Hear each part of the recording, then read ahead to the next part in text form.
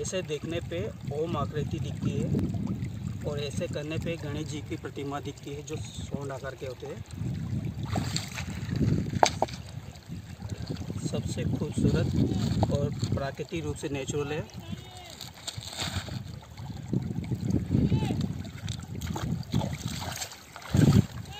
आप इस तरह के पत्थर कभी प्राप्त करना चाहते हैं तो हमसे आप कांटेक्ट कर सकते हैं।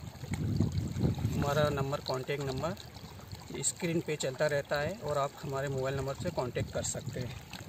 शुद्ध माँ नर्मदा नदी में प्राप्त हुआ है।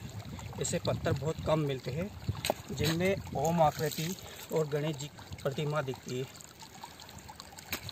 ठीक है मित्रों, ओम शांति।